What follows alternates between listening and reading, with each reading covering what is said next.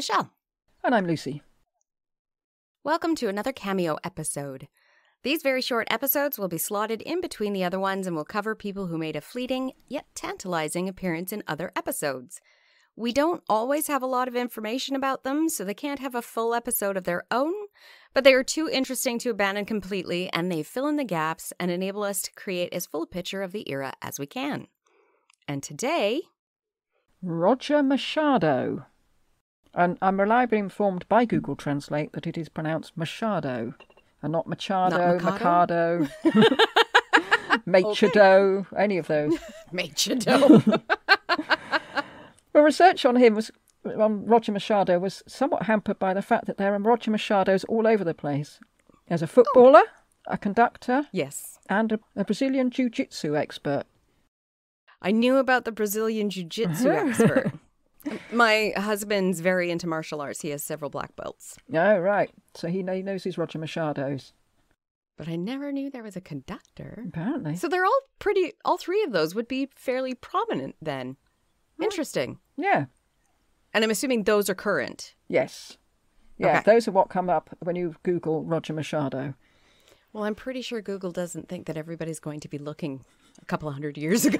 for some obscure herald and diplomat. I can't even remember which episode we mentioned him in, but I do remember gratuitously slipping him in apropos of nothing, just so that we could do an episode on him. Because he's interesting for two reasons. As one, he's a herald, and we've not really looked at what they did. no, not at all. And two, the way we know about him is interesting since he's largely known through archaeological records as well as literary sources. Archaeological records? His house was excavated. Really? and his stuff was in the in the cellar. That's amazing. So we're going to have more information about a herald than we do, say, Lady Gordon, who was Perkin Warbeck's wife. I couldn't find anything on Lady Gordon, so yes, Wow. yeah, and we know that it was his stuff because he'd also written an itinerary, not itinerary, Okay. Inventory? inventory. Okay, I did that last time. We could have copied and pasted that out of two other episodes. An inventory. In fact, it's not a word that leaps to my mind. Yeah, he'd written an inventory, and in the inventory was exactly what was found in the cellar, except a few more things were found in the cellar because he'd bought more stuff since he'd written the inventory. yes, but it's interesting that it. Uh, did a disaster happen? Because I don't, know. I wondered that because it seems odd That he would have just left it to walk away and leave your things. It's almost like Pompeii or something. But Yeah. No? If he died of a disease, you would think the next person who moved in would have cleared out his stuff or used some or done something with it. They wouldn't have just left it there. I love these kinds of things. it's, I thought very strange. I mean, it must have been very odd to, to have. Ex- it's a house in, in Southampton. To have excavated it and found, oh look, there's a load of stuff here, and then somebody Yeah. cross-reference because if they knew that he'd lived there, and thought, ah, we've got a list of everything here. I thought, wow, that must have been a, a wonderful moment where you put the two together. Yeah. and you think this is Roger Machado's house and this is his stuff. Was it the Time Team crew? No, Oh, no, I think it was done in the seventies, not by them. No, by Okay. by bog standard archaeologists. You are going to be hearing bangs, everybody. I am sorry. We have had to put child locks on every cupboard to keep the cat out, and he is still trying to get in. and I have nowhere to lock him up. Sorry. okay, I can't hear it. We don't know when he was born. We don't know who he married. We don't know if he had any children. he was thought to be Portuguese. At least we know he spoke Portuguese. His name was, and I meant to look this up on Google Translate. It's R U Y, so I'll go for Ri, and that was anglicised to Roger for some reason. I don't know why they picked Roger. yeah, those are similar. We'll go with that. We first hear of him in 1978. No, we don't. We first hear of him in 1478 when he is the Leicester Herald. And a Leicester Herald was present at the marriage between Richard, Duke of Gloucester, and Anne, Oh, and at Edward IV's funeral, so that was presumably him. okay. The inventory of his house around that time shows that he must have been fairly well off. But something went wrong around the time of 1484 because he fled to Portugal. And that's not when he left all his stuff.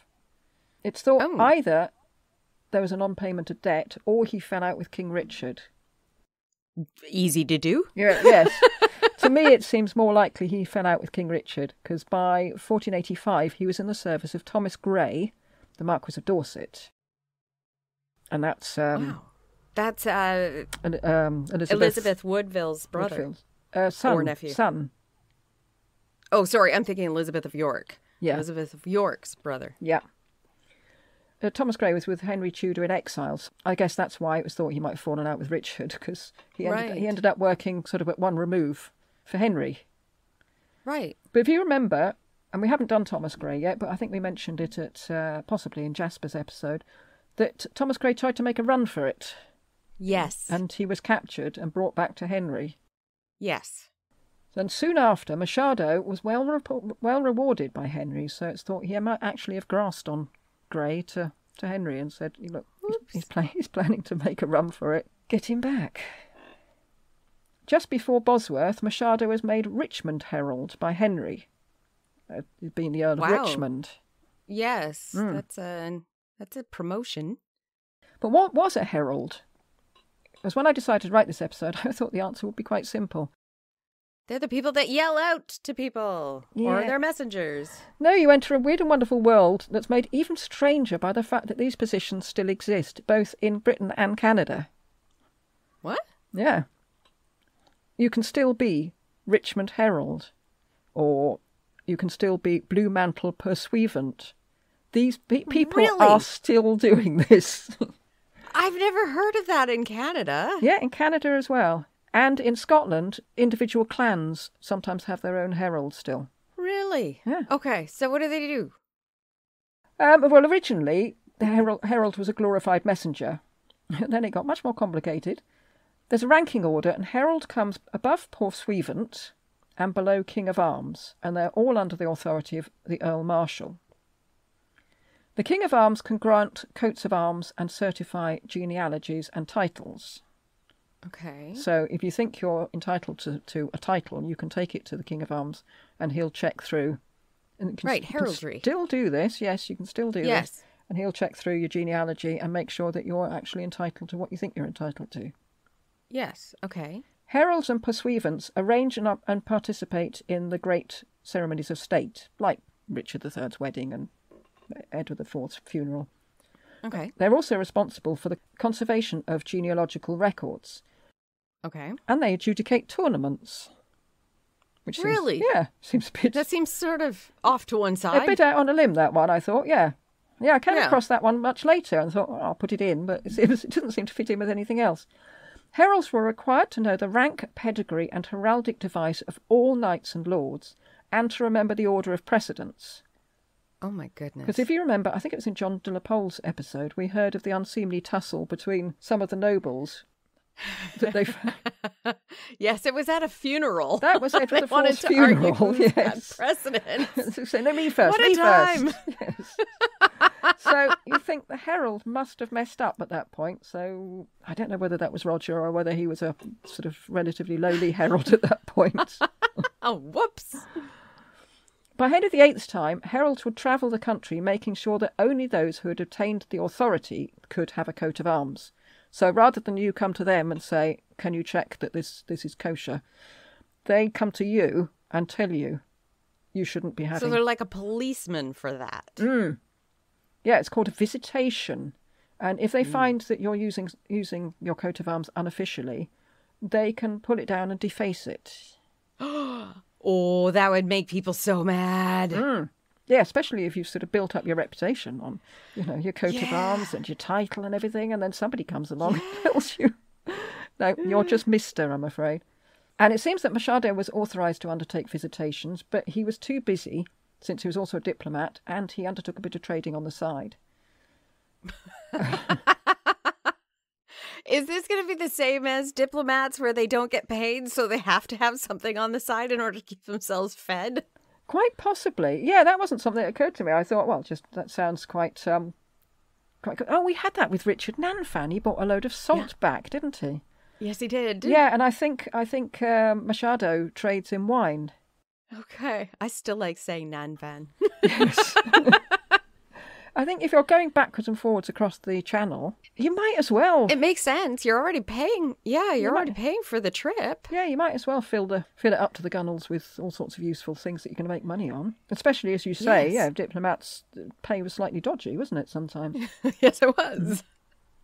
all these positions of herald and pursuivant have names. So Machado was the Richmond Herald. Then he was promoted to the Norroy, if that's how you pronounce it, or Norroy, I'm not sure, King of Arms, and then the Clarenceux King of Arms. And all this would mean mm. something to, to them at the time. And there's still a Norroy King of Arms and a Clarenceux King of Arms to this Really? day. Oh, yeah, makes you wonder what on earth are you doing? Is it is it an honorary title now, or do they have duties? Do you know? I don't know. I'm how now going to have to really de- delve into the Canadian one. Hmm. I don't know how much work there would be tracing genealogies now. I mean, maybe, maybe for Americans and Canadians and Australians, maybe they're tracing back to find out whether they're entitled to anything. Americans, I'm not sure if they would because titles are not allowed in the U.S. That was done Yeah. right at the beginning. Hmm. Jerry Landry, Presidency's podcast, mentioned that in one of his episodes. Well, I don't know. Is a coat of arms allowed? Don't know. If you're American I- and you've got a coat of arms, let us know. Yeah, I don't know. I don't know of anybody. Well, I, it's not like I run around with, you know, nobility or anything No. high ups in Canada either, so I don't know. No, I knew a right honourable once, but he made he got his right honourable by selling tobacco in Africa, and I thought, well, there's nothing honourable about that. No. In 1489, Machado went on a diplomatic mission with Richard Nanfan to, Nanvan! to Spain and Portugal. And we learnt that Nanfan was one of the diplomats charged with negotiating the wedding between Arthur and Catherine of Aragon, so Yes. possibly that's what Machado was doing. Okay. In 1505, he was offered the office of Garter, and I don't think that means he was welcomed into the Order of Garter. I think it's some sort of official role associated with the Order of the Garter. Probably the administration of it? Maybe. I mean, they have a, apparently they have a Garter Day procession. I don't know if that's still going. Um, so might be the organisation of that. Okay. But I couldn't find out what the office entailed. But it must have been quite onerous because Machado declined the offer, claiming that he was too old and weak. Oh.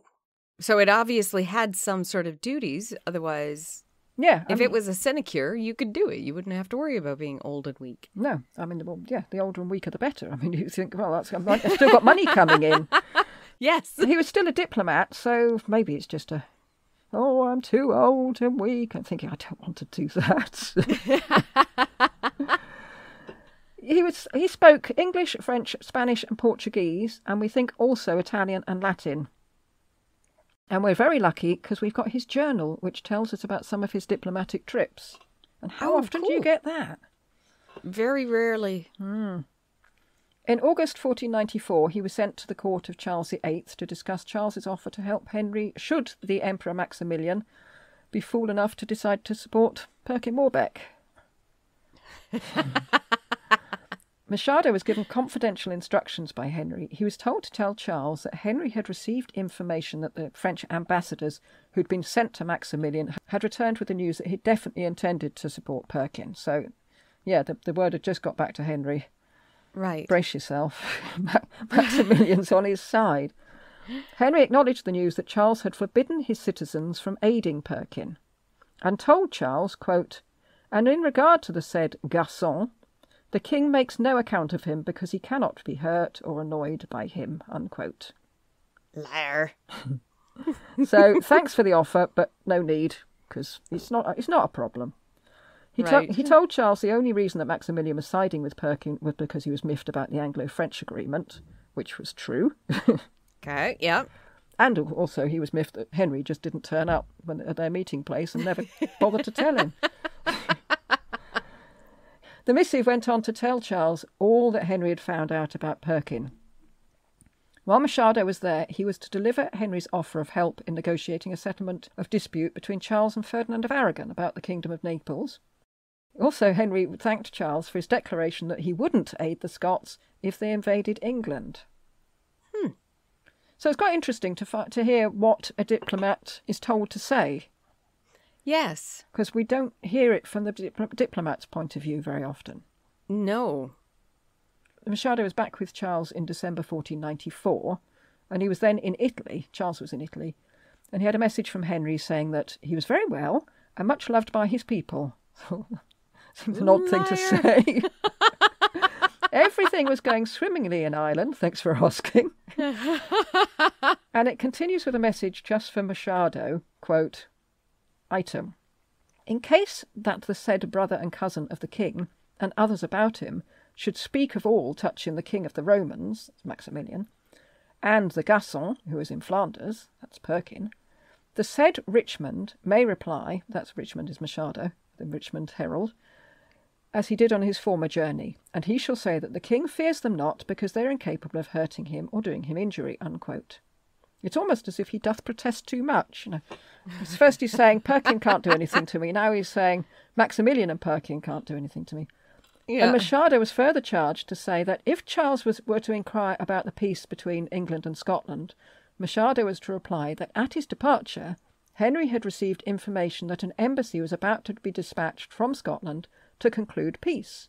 Now, I presume that's de Ayala, yes. because he came down to do that, didn't he? Yes, he did. It's nice when you you think, oh, Much to quite another diplomat's extreme displeasure. Indeed, yes. In 1496, Machado was again at the French court. He carried a nice simple document with three items. Firstly, Henry agreed to a meeting with Charles. Secondly, there was talk of a possible marriage between the Dauphin, and that's the prince, and Margaret Tudor. And thirdly, Henry said that he was happy to postpone the re- receipt of money Charles owed him for a year. But there was a coda. Machado was to remind Charles of his promise that if Scotland were to invade England, France would declare war on Scotland. So it's gone up a notch. He's agreed to, Yes. to declare war. I wonder if he did agree or if Henry's just reinterpreting. Yes. You know, you said, you know, yes, you did. You did. Yes, you did. I just mentioned this, said Henry, because it looks as if they're about to invade. Mm. And he was also to ask Charles whether Henry could have the Duke of Albany, John Stuart, that's James, King James's nephew, and because he had a claim to the Scottish throne, as Henry wanted to use young John in the same way that James was using Perkin, in a sort of ah. tit for tat of pretenders. Right. Yeah, if you if you support Perkin, I'm going to support your thorn in your side, Right. which is very sensible. However, there was another reason for Machado to be there. Further instructions went as follows quote, Item If it should happen that the French king or any great personages of his council should make any question or inquiry, how the king and the king of Scotland accord, seeing that the latter supports and entertains the Gasson in his kingdom, or, in similar words, and in case they do not speak on the subject, the said Richmond is to endeavour by all proper means to give occasion to such remarks. He may reply that concerning the affair, the king cares nothing about it, and that it is the least of his of all his troubles. For the said king of Scotland is unable to injure him in any manner whatever, except perhaps by making him spend money in vain. Unquote. Of course, it's the money. But I did like the fact that they're saying, if anyone should bring up the subject, you can tell him that I'm not bothered. Yeah. If no one brings up the subject, wheedle the conversation round to it. to say that I'm not bothered. so yeah, effectively, Machado's been sent all the way to France to tell Charles he's not bothered. So to lie. yeah, yeah. Hmm. When Perkin was tracked down in Beaulieu Abbey, Machado was one of the people who was sent to pick him up and bring him back to Taunton. And Henry said, quote, He, Machado, tells me that the young man is not handsome. Indeed, his left eye rather lacks lustre, but he is intelligent and well spoken. Unquote. So, hmm. Gemma L. Watson, who wrote an article about Machado and Perkin, speculated that the eye thing may have been concocted by Machado. Strange eyes denoted untrustworthiness at this time. But Henry has a strange eye.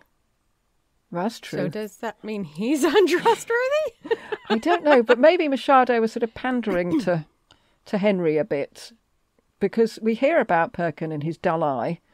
I was wondering whether it came from anybody else or whether Machado was the original source for this, ah. and whether he just said, "Oh, and he's got funny eyes. You know what? You know what they're like." But yeah, you're right. I'd forgotten about Henry. I'd forgotten about Henry's wonky eyes. Just thinking you're saying that, and your own king has that. Ooh, kind of implying that your king is sketchy too. Maybe the king's not aware of his eyes. I hope not. He might have looked at his picture and thought, I'm sure my eyes aren't as unlevel as that. October 1497, Machado was back at the French court, and this time he may have had with him Perkin's confession to say to Oh. Charles, Look, look, we knew we were right. In 1501, he was sent to Maximilian, and in 1503, get this, he was sent to the court of Denmark. Oh, really? But I don't know why. Oh, I couldn't find to out thank why. him for not sending the ships that he never knew he was supposed to send.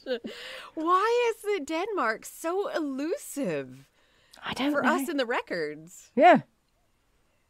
Mm, maybe, maybe, maybe Denmark don't didn't keep records, or was a bit cagey with their records. I don't know. I don't know. But that's hilarious. He was obviously good at his job. The Milanese ambassador said that he was wise, endowed with wit and discretion, a man who saw everything. So, I mean, that's what you want with a diplomat. Yes. But was Machado a spy? Yes. as soon as you ask the question, it's like, yeah, most likely. he might as well be. Everybody else seemed to be. Espionage is a notoriously difficult thing to discover in historical sources for obvious reasons. Yes. From time to time, you find payments made to an espie, which does seem incontrovertibly a spy, Yes. and at other times it comes under the name of coureur, vespilio, explorateur, which are probably spies. And sometimes the payment is made under the title of secret business. yes, that's a spy. well, secret at that time uh, may have just meant private, so it might have just been a personal thing. So it's very difficult to work out whether the business was diplomatic or something more covert than that. hmm. And I'm sure the dividing line was a bit blurry sometimes as well. I mean, at what point do you stop being a, a diplomat and start being a spy? True. The chronicler Philippe de Comines said that messenger, spy, and diplomat were one and the same, as far as he was concerned. Isn't it later that merchants and spies become one and the same? Yeah. Merchants start having trouble because hmm. every spy is posing as a merchant. I think so. Hmm. Yeah, court, the courts apparently extended every courtesy to dip- diplomats, but they didn't trust them. But heralds were in a slightly different position. Heralds who picked up and passed on secrets from a court of their master's enemies were supposed to be punished by their master. And, what? Why? and the enemy was then assured that no advantage would be taken from the, inf- from the information which had been found out. Really? Yeah. Um, Why? I think probably it is to make somebody who is utterly trustworthy. And they must have all decided, okay. We need one person. yeah, we can't trust them at diplomats, we can't trust the merchants. Perhaps we just accept that. I don't know, it seemed to me too good to be true. And I should imagine the punishment inflicted on the herald was minimal, and secret backhanders were great, and that the information probably was used, because you're not just going to forget it, are you? If they say, oh, they're planning to invade you, you're not going to go back to them and say, um, I hear you're planning to invade, but don't worry, we're not going to make any preparations. Yeah, no. Ah. No. Ann Wroe, who wrote the book Perkin, thinks that Machado was sent to Portugal in August 1489 to spy for Henry. So we're going back a bit now. He was described as going, quote, for certain causes, unquote. Because Perkin was thought to be there in the service of Sir Edward Brampton, the subject of Oh. our first cameo episode. Yes.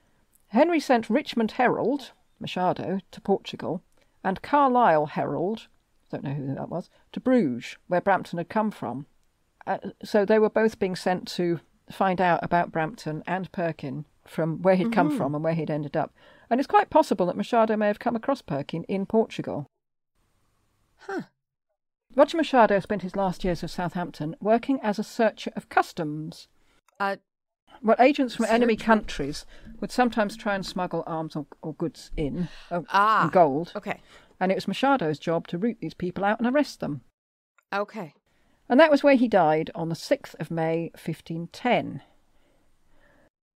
So wait, he died in. He was living in the house where they found all his stuff when he died. Yes, Okay. yeah, Upper Bugle Street. And he was renting it from 1486 to 19, 1497 for 13 shillings and sixpence a year. And the rental agreement was signed Richmond, which seems odd. Hmm. Yeah, when the property was excavated, a stone lined, lined garderobe and a cellar tunnel were found full of artifacts, mostly dating from the 15th century, when Machado was renting the property. And it consist- Okay. consisted of Italian majolica and Venetian glass vessels. So it was all quite posh stuff. Yeah. And much of it was, di- was dining stuff and has proved invaluable in making a picture of how people ate and what they ate off in the sort of middling merchant classes of the time. I just find that so fascinating that it's there. And the fact it's glass and china. Yeah. We can't keep glasses from one week to the next. I don't know how they've managed to. They were more careful. Yes. I was about to say they didn't have a stone sink, but they probably did. Oh. So that was the life of uh, Roger Machado, herald, diplomat, merchant, and possible spy. Yeah. How can wait? No, he can't be. Mm, we're back to that. They say heralds aren't spies, and you've just said possible. I know. sp- I don't know when when they when he goes abroad. Is he a diplomat or is he a herald? I don't know. Heralds wore really brightly coloured. They're a bit. They look Oh. a bit like the, the playing cards in Alice in Wonderland. Yes, So you, with all the gold braid and everything. yeah, so you couldn't be. You couldn't be discreet as a herald because you were there in all your bright costume. You're wandering around like a red peacock. yes, there's no lurking behind pillars. So I don't know whether at what point he stops being a herald and starts being a diplomat, or whether he's always a herald when he's a diplomat. Whether you're never off duty as a herald, I don't know. Oh, I don't know either. Hmm.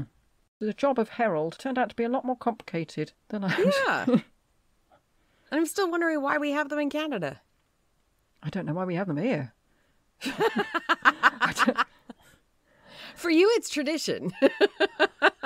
That's a simple answer. I suppose that it just never stopped. I mean, at some point, you've got to say, right, we're getting rid of this this office, and if, Yeah. if nobody ever does, it's still here. But yeah, at Canada, you've got to make the decision to start it. Hmm. Hmm. Hmm.